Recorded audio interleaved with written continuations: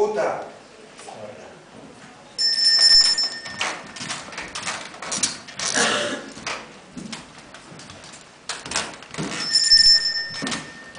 No debiste haber nacido. Perra.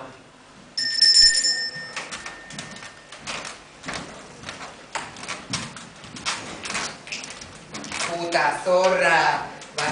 No debiste haber nacido. Es un engendro de la naturaleza. Qué vergüenza debe tener tu madre. ¡Qué horror!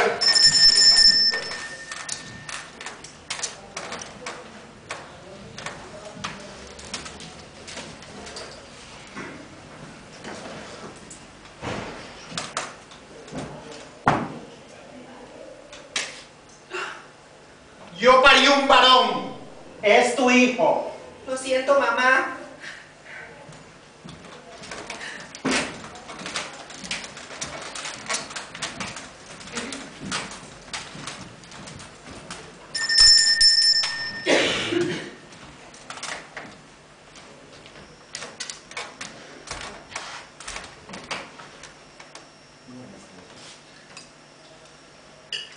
¿Sabes cocinar?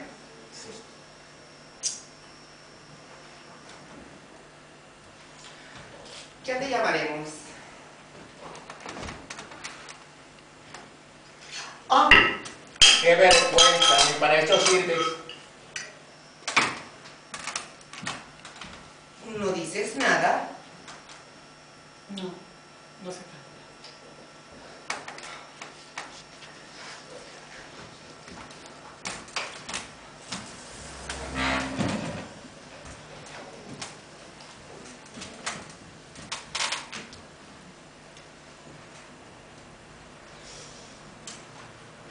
Hemos llegado al final del recorrido.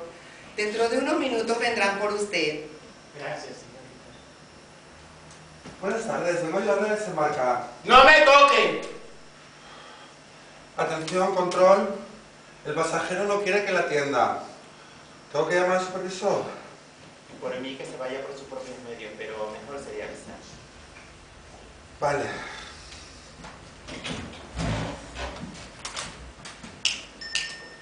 Estas son las cosas con las que tenemos que aprender a vivir. Y esto.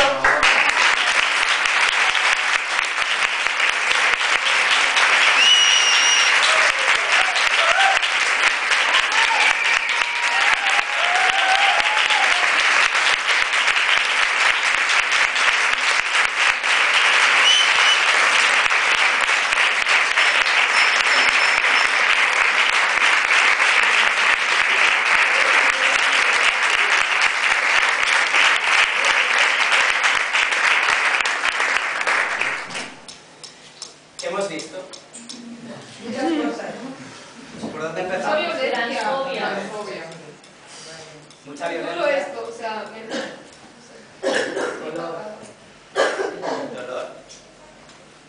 ¿Me quieres llamar? Yo también vi mu- mucha resiliencia Mm, ¿En qué lo viste eso?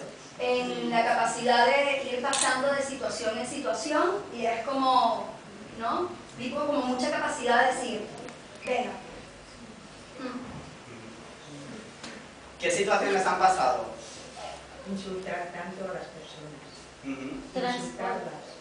Mucha bajeza. Ujú. Eh, Entonces no se puede vivir con, eh, con, eh, con esta cosa de que tú tengas que decir y criticar lo que tú eres. Cada uno es como es. No hay, no hay, no hay vuelta de hoja. Claro, todos quisiéramos ser perfectos. Entonces eso es un poco difícil, pero no imposible. Entonces lo que no se puede hacer es estar a una persona insultándola, machacándola y tam- tiene derecho a la vida, ¿no? Cada uno.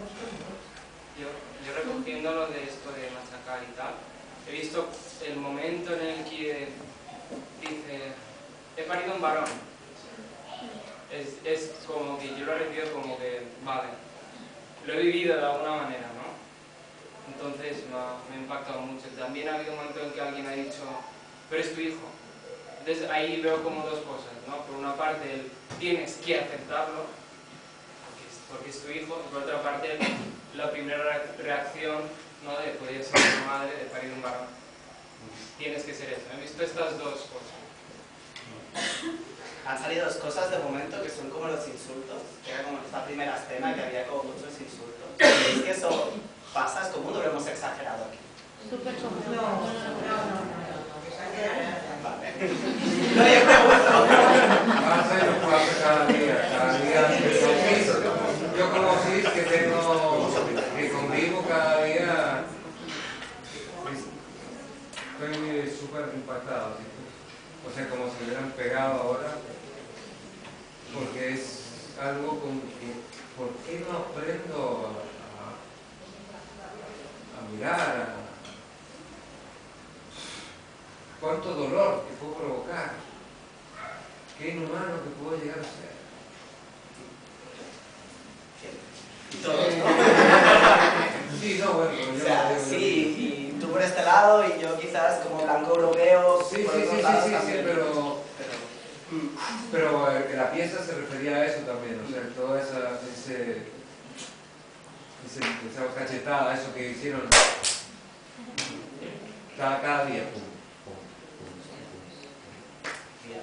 Y también he visto mucha valentía, que han venido a mostrarse y esto también es la fuerza, porque solamente ustedes saben cuáles son sus historias y esta es la fuerza que, que les da poder hablar en primera persona y decir, pues como decía mi compañera, a pesar de todo esto, me sigo autodeterminando y yo solamente sé lo que siento y lo que soy, ¿no? Entonces, muchísimas gracias también por regalarnos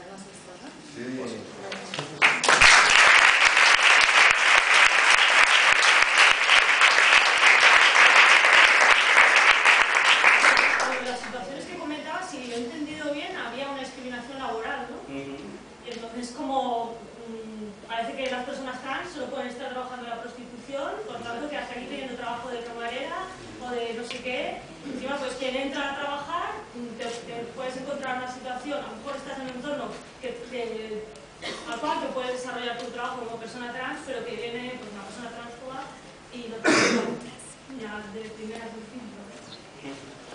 ¿Y creéis que eso pasa mucho aquí, que sobre todo con las mujeres trans en Barcelona? El acceso al mercado laboral de las mujeres trans en Barcelona, ¿sabéis cómo está? Fatal. México está dificilísimo, ¿no? En México, aquí también. Se además se le sube que puede ser una transmigrante. Obviamente, eso es la interseccionalidad también, ¿no? Que a veces hay gente, hay mucha gente trans que viene a Europa pensando que Europa es el sitio maravilloso en el que van a poder hacer sus tránsitos y van a poder eh, vivir tranquilamente y se encuentran, o sea, llegan y se encuentran con la mierda del racismo, la transfobia, etc. Entonces, si, si no recuerdo mal, el dato de, creo que alrededor del 60% de las mujeres trans en Barcelona no tienen trabajo. 60%. Sí. Yo he oído 70. Puede ser, o sea, puede ser, yo tenía, pero sí. O sea, que eso es un problema como ciudad, o sea, ya no hablo a nivel de, de Cataluña ni de Estado de tal, pero a nivel de ciudad es un problema que tenemos, ¿no? ¿Qué más hemos visto? La resiliencia, el trabajo, Yo, yo volviendo al trabajo como un apunte personal súper fuerte que yo, por ejemplo, co- como mujer trans he decidido un puesto de trabajo, pero por un programa de discapacidad. Entonces, si no, pero por un programa de discapacidad que decidí ya no, ya no por nada Sí. más. Es interesante. es interesante, pero al mismo tiempo, o sea, en Barcelona se añadió a las personas trans dentro de los tantos por cientos que las empresas están obligadas a contratar de discapacidad. Añadió la transexualidad como una, medida, una medida de ciudad para intentar contrarrestar esto.